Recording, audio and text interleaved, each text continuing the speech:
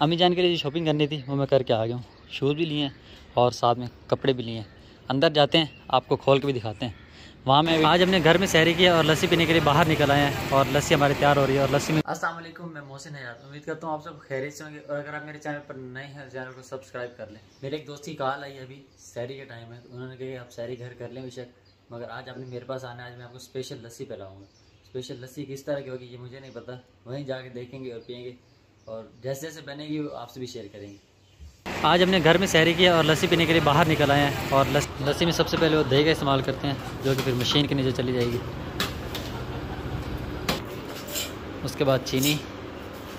भी बहुत कुछ डलना है साथ साथ रहेगा आपको दिखाते जाएँगे हम। उसके बाद दूध डाल रहे हैं, उसके बाद दूध डाला जाएगा। उसको मशीन में लगाने के बाद उसमें बर्फ़ डाल के फिर मोटर चला दी जाएगी साथ।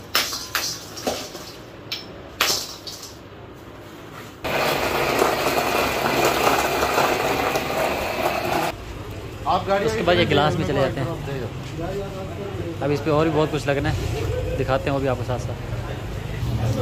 अब लस्सी के ऊपर जब लस्सी गिलास में डाल दिया उसके बाद मलाई ऊपर रख रहे हैं। ताज़ी मलाई ऊपर से उठा के देगी। और उसके बाद खोए में खजूर को डिप करके वो ऊपर रखा जा रहा है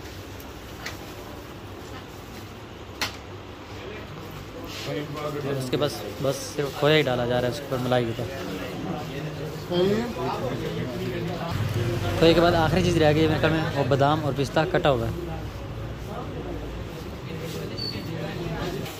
बल्कि एक और चीज़ रह गई थी, वो जामी शीरी है। और मेरे ख्याल में मुकम्मल तैयार हो गई है। नहीं डबल खोया लगना है, नीचे भी और ऊपर भी। माशा मैंने तो समझा था कि एंड हो जाएगा बदाम और पिस्ते के बाद, मगर हर चीज़ डबल डबल लगाई है उन्होंने। भाई इसमें चम्मच लगा रहे हैं, इनसे पूछ लेते कि हमने खानी है या पीनी है। पीनी है या खानी है? पहले खानी है, फिर पीनी वगैरह। और हमारे गिलास रेडी हैं। अब चलते हैं हम अपने टेबल टेबल नहीं, देसी तरीके से बैठना हमने, चार पाइयों के ऊपर। लस्सी के गिलास हमें मिल गए और कुछ इस तरह से बैठना होता है कि देसी तरीके से चार पाइयों के ऊपर। आपने लस्सी बनती हुई देखी और ये दुकान है कहाँ पे? मैं भी पहली दफ़ा इधर आया हूँ, पहले मैं नहीं आया। तो मुग़ल भाई की स्पेशल लस्सी, और जिनका एड्रेस है वो बाहर बोर्ड पे लिखा हुआ है, हम वही आपको दिखा देते हैं। और जिनकी शॉप का एड्रेस है वो Osmanabad colony, Bosna road Shell petrol pump के सामने, आर एस बेकरी के साथ चक्की वाली गली मुल्तान। जो भाई मुल्तान से हो, यहाँ से आके ज़रूर लस्सी पिए, और उनके माहौल को इन्जॉय करें।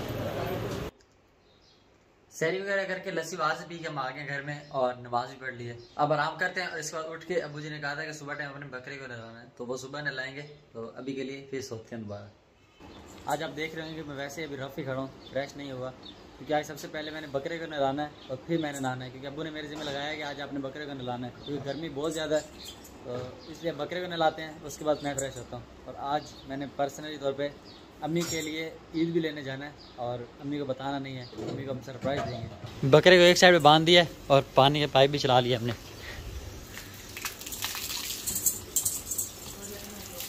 आगे जाते हैं और इसे अच्छी तरह नहलाते हैं।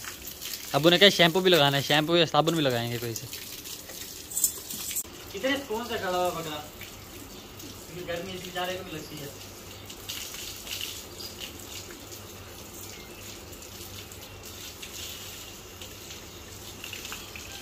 अबू ने कहा इसका ख्याल करना है कानों में पानी ना जाए कानों में पानी जाएगा इसके लिए मसला बनेगा। इसलिए हमें सिर्फ़ इसके कानों में ख्याल करना है बाकी खैर। बकरे को नहला के मैं फारिग हो गया हूँ और अब मैं जाता हूँ बाज़ार कुछ सामान वगैरह लेने के लिए शॉपिंग करने के लिए अम्मी जान के लिए ईद का सामान भी लेना है। तो निकलता हूँ मैं बाज़ार के लिए। अम्मी के इनकी कुछ चीज़ें लेने और अम्मी को नहीं बताया मैंने उनको भी सरप्राइज़ गिफ्ट देना है मैंने। जैसे कि पूछा कि मैं अम्मी की शॉपिंग के लिए आया था मगर अरीबा और आमना ट्विंस जो थी उनकी बर्थडे भी आई पड़ी संडे वाले दिन।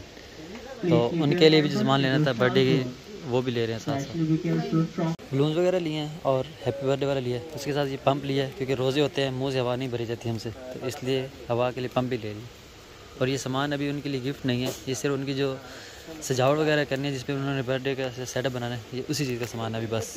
ऐसा है कि गिफ्ट भी पड़े हमारे गिफ्ट में हमने लेने उनके स्कूल बैग क्योंकि न्यू एडमिशन हुआ उनका न्यू क्लास में गए तो साथ में उनके न्यू बैग हम गिफ्ट करेंगे, दोनों को। बैग भी आगे लगे हुए बैग भी देखते हैं। ट्विंस के लिए जो हमने बैग का गिफ्ट लेना था, वो भी हमने ले लिया और एक हमने ये वाला बैग लिया रेड कलर में और एक भाई पैक कर रहे हैं। डिज़ाइन दोनों का सेम है, बस कलर का डिफरेंस है। कलर में डिफरेंस रखना पड़ता है, नहीं तो आपस में लड़ते हैं फिर वो भूल जाते हैं, कभी ये हमारा तो कभी वो हमारा। चीज़ें लेनी थी, उसके लिए मैं था हुसैना के बाज़ार में। क्योंकि पहले बच्चों के लिए चीज़ें ली हैं, अब अम्मी जाने के लिए, क्योंकि रश भी बहुत है बाज़ार के अंदर। औरतों को देखो तो चक्कर आने लग गया, इतना रश है यहाँ पे।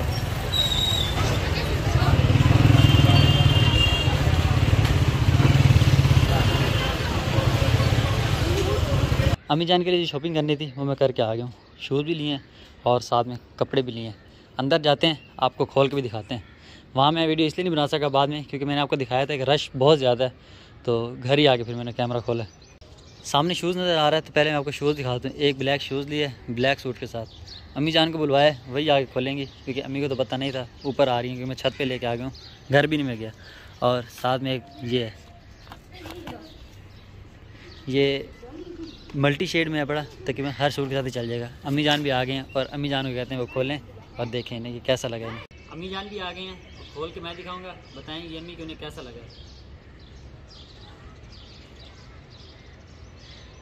और ये मैंने स्टिच लिए हैं, क्योंकि दर्जन ने टाइम ही नहीं देना था सीने के लिए, क्योंकि ऊपर से टाइम भी थोड़ा है। तो अम्मी जान कैसा लगा आपको इसे सच्ची सच्ची बताना, वैसे मैंने पहले तो आपके लिए लिया और अकेले जाके लिया मज़े की बात ये अच्छा है, आपकी अच्छी है एक ये लिया और एक साथ में ये लिया ब्लू कलर में। एक ब्लैक कलर में और एक ब्लू कलर में। नेवी ब्लू कलर होता है मेरे ख्याल में नेवी ब्लू होता है ना? और ये थ्री पीस है, ये सिर्फ़ टू पीस ही था, इसका दुपट्टा नहीं था तो ये पूरा सूट है थ्री पीस इसका दुपट्टा भी खोल के दिखाता हूँ मैं आपको, ताकि पता चले कि मैं लेडीज़ चीज़ें ले सकता हूँ कि नहीं।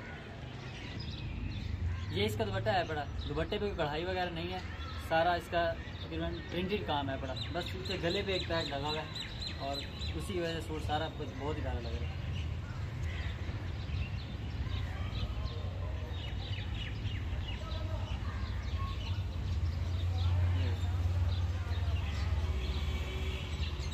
अच्छा